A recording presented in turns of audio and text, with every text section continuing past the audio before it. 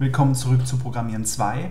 Wir haben uns im letzten Video die Klasse Spieler erstellt und ein wichtiges Konzept in der modernen Softwareentwicklung ist das automatisierte Testen. Das heißt, dass man nicht mehr sein Programm startet, um dann eine einzelne Funktionalität, die man gerade hinzugefügt hat, zu überprüfen, indem man sich manuell durch den Client bewegt, durch Mausklicks oder Tastatureingaben und so weiter, sondern man erstellt seine Objekte zu den Klassen, die man gerade geschrieben hat, in speziellen Testfällen und überprüft dann, ob man das Ganze eben oder ob sich die, die Objekte so verhalten, wie man das in seinem Code spezifiziert hat.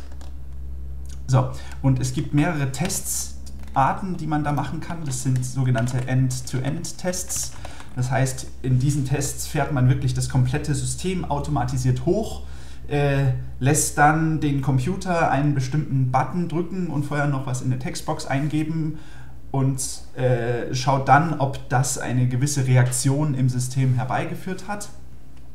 Also hier geht wirklich komplett einmal von Anfang bis Ende durch das entsprechende System durch. Äh, das werden wir hier jetzt nicht machen. Dann gibt es noch sogenannte Integrationstests. Das ist ein Level tiefer. Hier werden mehrere Objekte im Verbund getestet. Üblicherweise vielleicht auch noch mit einem externen System dran, also dass wir hier eben vielleicht eine Datenbank mit dabei haben, die wir ansprechen, oder einen Webservice wie die Twitter API beispielsweise, die wir mit ansprechen. All das kann man eben in Integrationstests machen. Ähm, das werden wir jetzt vorerst auch nicht machen. Eventuell kommen wir noch dazu. Und äh, das, was wir jetzt erstmal machen werden für die Spielerklasse, ist einen sogenannten Unit-Test und oder Unit-Tests im Allgemeinen kann man das auch nennen. Und diese testen wirklich eine Klasse in Isolation. Und genau das schauen wir uns jetzt mal an, wie das aussieht bei uns. Wir erstellen hier jetzt eben noch ein neues Projekt, das hier eben ein, äh, wir können das hier unter Tests hoffentlich finden. Da finde ich es wahrscheinlich schneller. Hier ein Unit-Test-Project und das nenne ich einfach 4 gewinnt Core Tests. Und wir werden MS-Test als Unit-Testing-Framework verwenden. Ähm, es gibt noch Alternativen wie zum Beispiel XUnit, die ich im Allgemeinen vorziehen würde, aber da MS Test direkt bei Visual Studio mit dabei ist, müssen wir uns jetzt nicht darum kümmern, wie wir die anderen Frameworks wie NUnit oder XUnit für .NET-Applikationen einrichten können. Wobei es auch sehr einfach ist über NuGet.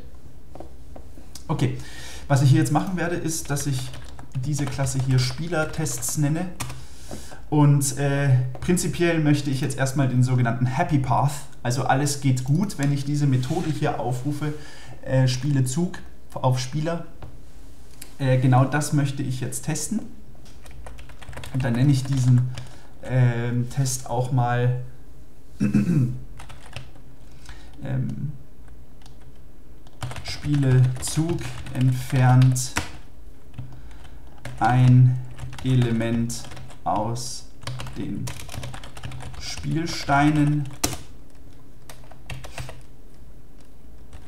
Wir haben hier eben dann die Möglichkeit, dass wir uns einen Spieler erstellen. Das ist das sogenannte Test Target bei mir. Und damit wir die Klassen, die wir in diesem Projekt hier oben haben, natürlich nutzen können, muss ich erst eine Referenz auf 4 gewinnt Core herstellen. Und hier muss ich jetzt eben einen Namen an den Spieler übergeben und wenn ich keinen konkreten Namen brauche, dann benutzt man eben diese üblichen äh, Abkürzungswörter für wie Fu oder Bar oder Bass und so weiter. Und hier möchte ich dann eben auch eine Spielstein-Collection erstellen. Entschuldigung, eine neue Liste von Spielsteinen. die ich hier jetzt mit übergeben kann. So, der Spielstein, den haben wir jetzt hier noch nicht drin, der hat irgendwie eine Farbe, das interessiert mich hier jetzt aber noch nicht. Ähm,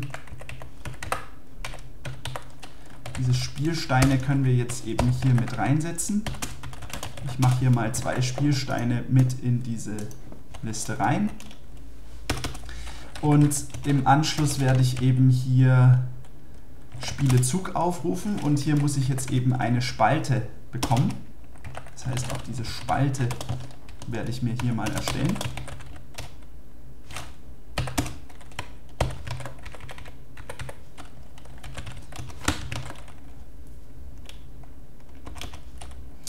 Und dann nehme ich eben an, dass sich beim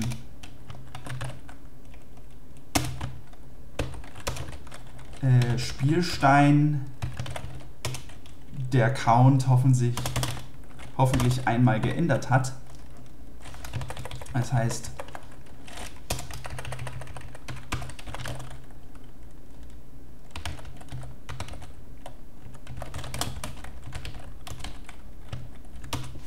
Oder eigentlich könnte man es auch tatsächlich so testen, dass wir hier sagen, äh, Spielstein, ne, obwohl das ist, nee, der Test ist nicht so gut. Ich glaube, das hier doch so. Initial Count ist eben Spielsteine.count. Das verändert sich ja mit, wenn der Spieler diese Liste hier manipuliert. Das heißt, ich würde hier sagen, Initial Count minus 1 und ähm, wir sagen dann testtarget Spielsteine.count, dass sich das hier eben verändert haben muss. Und dann schauen wir uns das Ganze mal an, ob dieser Test jetzt hier tatsächlich funktioniert. Wir gehen mal in den Test Explorer und erstellen unseren Test oder unsere ganze Solution. Der sollte dann eben diese Methode nach einiger Zeit finden und wir können diesen Test ausführen und sehen, dass er noch fehlschlägt. Und wir sehen hier eben, dass wir hier noch das Problem haben, dass die Spalte zwar diese Methode Lass Spielstein fallen hat, aber die wirft noch eine Exception. Und das ist jetzt das Problem, was wir hier haben. Wir programmieren gegen die Klasse Spieler und gegen die Klasse Spalte ähm, hier in diesem Test und Spalte haben wir eigentlich noch gar nicht implementiert. Und was wir hier machen sollten, ist eben, dass wir die Spalte äh, mit einem sogenannten Test-Double, den Namen kann man sich auch mal merken, das ist ein Objekt, das so tut, als wäre es eine Spalte, ähm, was es aber letztendlich gar nicht ist. Die Spielerklasse kann aber dieses Element dann aufrufen. Und damit wir das hinbekommen, müssen wir zwei Sachen machen. Erstens, äh, wir müssen ein Interface einführen, was iSpalte heißt. Warum? Damit wir polymorph gegen diese Spalte hier programmieren können. Das heißt, ich mache ein neues Interface, das da heißt iSpalte.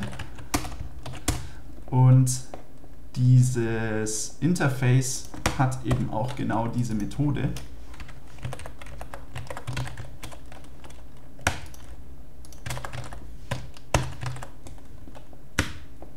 Und wir lassen uns hier eben eine i-Spalte übergeben. Und dieses Interface soll bitte auch von dieser Spalte implementiert werden. Wenn ich sie finde. Ist sie noch im Spiel? Nein. Einen Moment bitte. Schauen wir nochmal hier hin. Ach nee, ich habe es bloß übersehen.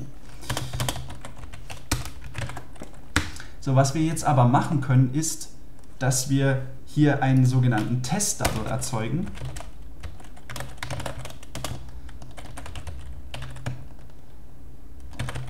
Der jetzt mehr oder weniger erstmal nur ein Dummy ist, aber dieses ähm, iSpalte-Interface implementiert. Aber es passiert ehrlich gesagt noch nichts, wenn dieser äh, wenn diese Methode aufgeführt wird. Und anstatt wir eben, dass wir hier diese Spalte mit übergeben, erstelle ich hier einen Spalten-Dummy und der kann genutzt werden, damit ähm, eben die Spielerklasse diese Methode aufrufen kann, ohne dass die Exception fliegt.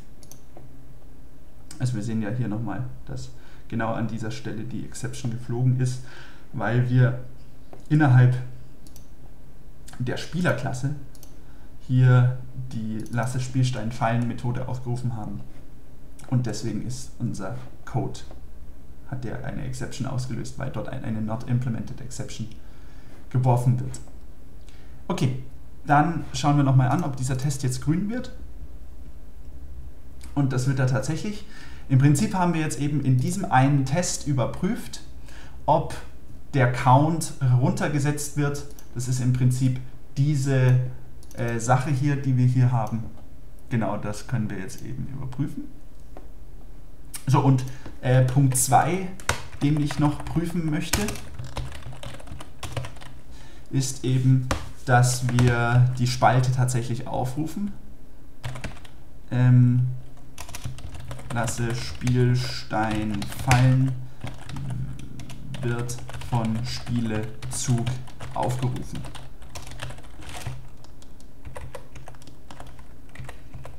Also das ist jetzt vielleicht ein bisschen technisch ausgedrückt. Man könnte das noch besser in eine Sprache der, des Spiels, der eigentlichen Domäne eben bringen, indem wir sagen, Spielezug lässt einen Spielstein fallen. So, vorher war das ein sogenanntes Dummy-Objekt, weil wir quasi hier eine Implementierung angeboten haben, aber hier passiert eigentlich nichts. Was wir jetzt tatsächlich haben möchten, ist ein sogenannter Mock. Das heißt, ich werde jetzt auch diese Klasse hier mal verändern. Und äh, was jetzt hier passiert ist, dass diese Implementierung mitzählt, dass er aufgerufen wurde.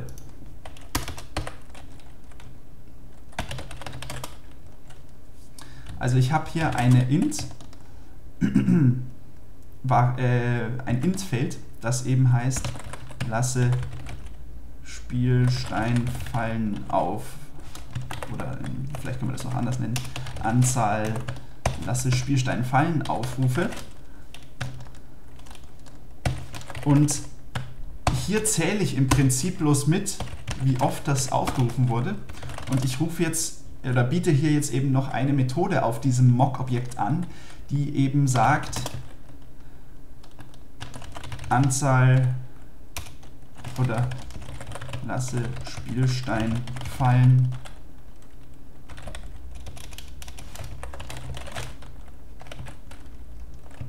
genau einmal aufgerufen. So, und hier gibt es eben eine Get-Methode, die eben überprüft, ob dieses äh, Anzahl Lasse Spielstein Fallen Aufrufe gleich 1 ist.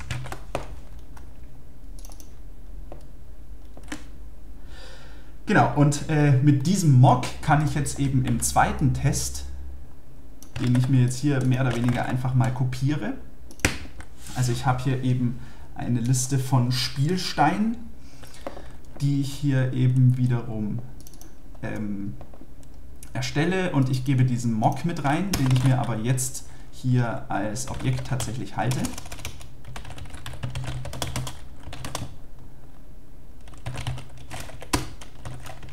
Und diesen gebe ich jetzt hier eben an die Spielezugmethode als Parameter über.